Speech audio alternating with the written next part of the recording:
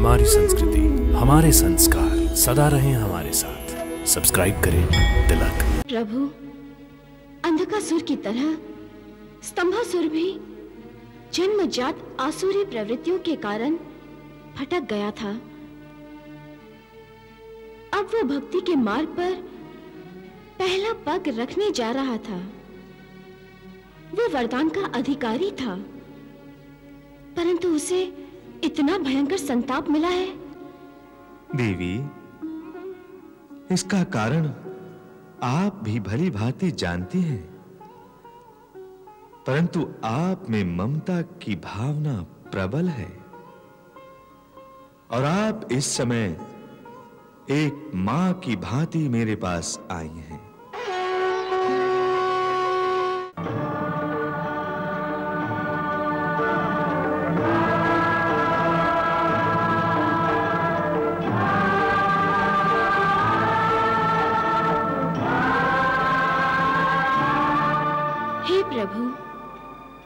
सर्वांतर्यामी।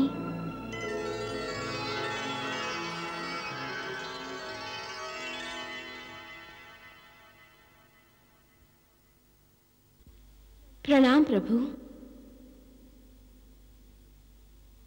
आप ही ने तो कहा है कि यदि कोई पश्चाताप से पुनीत होकर सब कुछ छोड़कर भक्ति भाव से आपकी शरण में आता है तो आप उस शरणागत का उद्धार करते हैं, उसे मोक्ष दिलाते हैं। स्तंभासुर भी वैसे ही पुनीत होकर भक्ति भाव से आपकी शरण में आया था, परंतु उसे भक्ति का क्या फल मिला? उसे तो अंतरिक्ष में स्तंभित कर दिया गया है।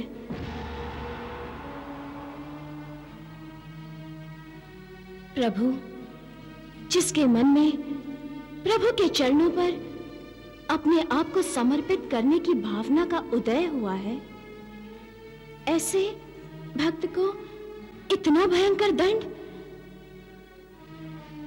प्रभु, अंधकासुर की तरह, स्तंभासुर भी जन्मजात आसुरी प्रवृत्तियों के कारण भटक गया था। अब वो भक्ति के मार्ग पर पहला पग रखने जा रहा था। वो वरदान का अधिकारी था।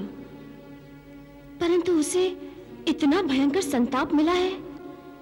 देवी, इसका कारण आप भी भली भांति जानती हैं। परंतु आप में ममता की भावना प्रबल है।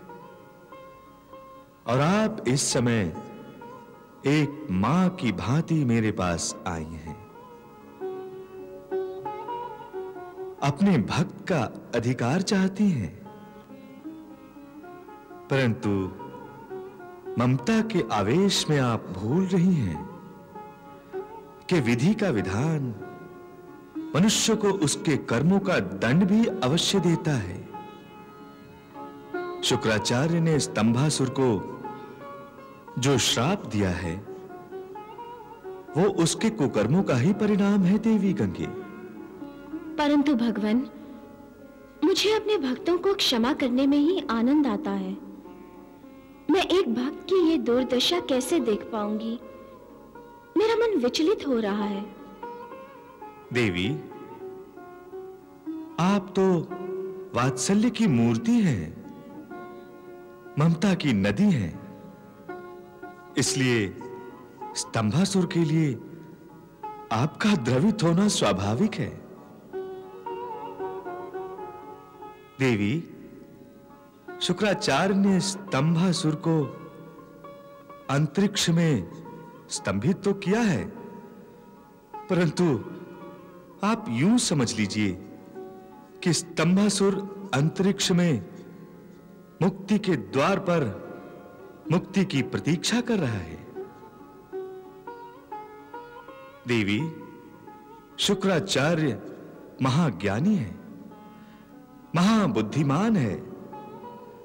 वो आपको पाताल लोक ले जाना चाहते हैं और आपको पाताल लोक ले जाने के लिए ही उन्होंने आपके भक्त स्तंभासुर को साधन बनाया है। मुझे पाताल लोक ले जाने के लिए मेरे भक्त को साधन बनाया है? हाँ देवी शुक्राचार्य जानते हैं कि आप जैसी माता अपने पुत्र को पीड़ा और यातना से मुक्त कराने पाताल लोक तक अवश्य जाएँगी। परंतु प्रभु, पाताल लोक में मेरा जाना अब से कई युगों के पश्चात सुनिश्चित है। प्रभु, आप तो सभी का भूत, भविष्य और वर्तमान है। समय आप ही का अंश अवतार है।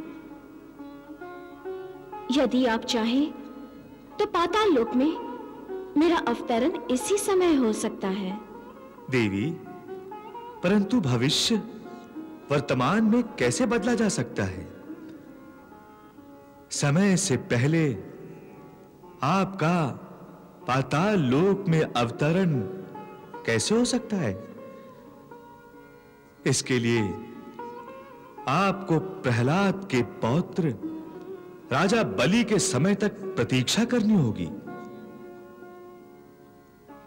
आप निराश न हो, देवी। स्तंभासुर स्तंभित अवस्था में तप करके अपनी आत्म शुद्धि कर लेगा और तब तक प्रहलाद के माध्यम से असुर कुल में भक्ति का दिव्य प्रकाश फैल चुका होगा। परंतु शुक्राचार्य तो भक्ति के इस प्रकाश को फैलने से पहले ही नष्ट कर देना चाहते हैं।